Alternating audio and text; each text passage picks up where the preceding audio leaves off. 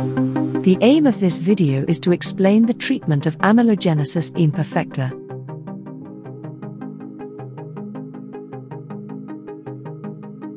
Amelogenesis imperfecta, AI, implies a lifelong indication for dental care. Patients with different forms of AI may suffer from hypersensitivity, occlusal wear, functional and aesthetic problems. For these patients, maintaining a functional dentition throughout life can be a challenge. The phenotypic appearance of AI ranges from hypoplastic to hypermineralization. Hypoplastic AI can be subdivided into smooth, rough, and pitted type.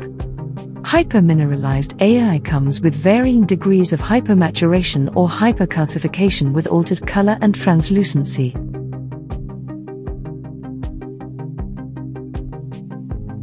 The restorative treatment of AI can be divided into four phases. Primary dentition, 1 to 6 years old, mixed dentition, 7 to 11 years, permanent dentition, 12 to 19 years, adult dentition, 20 plus years. In young patients, the treatment follows four objectives.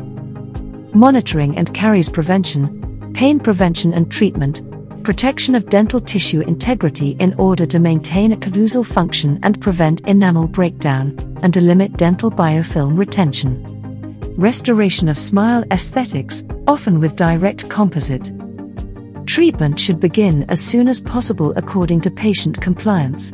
In some cases, general anesthesia may be necessary. Stainless steel crowns are indicated in primary molars affected by hypoplastic or hypermineralized AI in order to reduce tooth sensitivity and to restore enamel loss. Thus, the vertical dimension is maintained. Aesthetic pediatric crowns may be considered to restore primary teeth.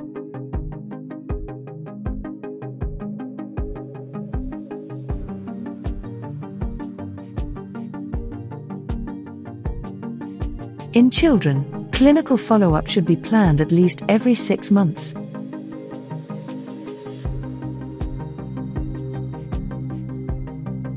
Treatment of the mixed dentition is generally focused on reduction of hypersensitivity and improvement of the appearance.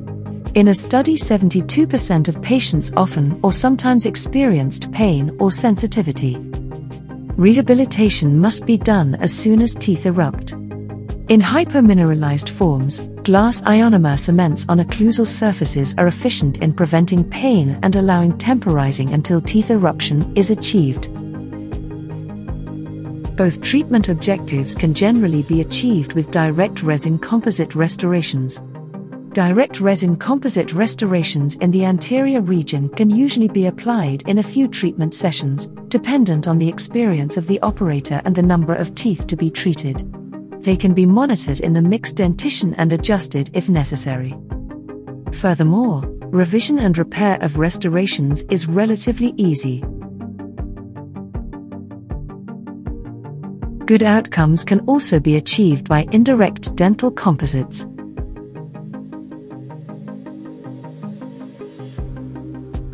No prep veneers or minimally invasive veneers rehabilitation is an alternative treatment.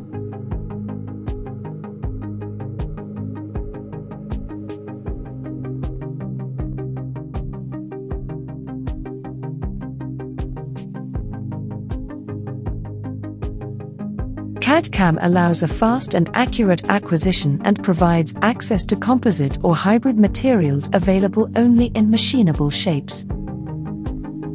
This long-term aesthetic restoration and conservative approach allows to wait for the end of the growth to perform more definitive restorations.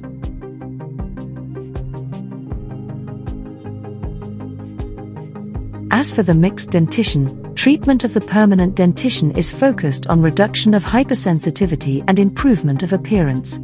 Depending on the complexity of occlusal rehabilitation, indirect restorative techniques may facilitate treatment.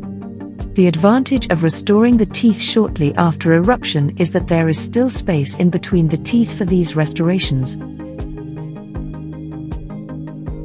An example of a simple way to obtain interproximal space is the application of separation elastics. To improve the function, The aesthetics and occlusion, orthodontic treatment is necessary in many cases. To ensure interocclusal and proximal space, orthodontic treatment may be necessary.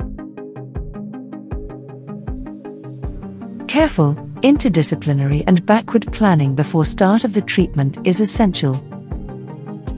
If there is a skeletal deviation, interdisciplinary consulting and planning of the orthodontist, dentist, and sometimes orofacial surgeon just before puberal growth is necessary. The goal of treatment for adult patients is to maintain a functional dentition throughout life. Revision of restorations may be necessary. Next to continued attention for reduction of hypersensitivity and improvement of appearance, treatment of occlusal wear may be more prominent in the permanent dentition. Although minimal invasive restorations are preferred, there can be an indication for treatment with conventional crowns. With a setup, the desired occlusal dimensions can simulated and transferred to temporary restorations with a mold. Indirect restorations can be particularly useful in cases without enamel or when the enamel is of very poor quality in contrast to normal or healthy teeth, the biological damage is then limited. With crown treatment, a good prognosis can be offered. A systematic review of the survival and complication rates of single crowns reveals a survival rate of around 95% after five years.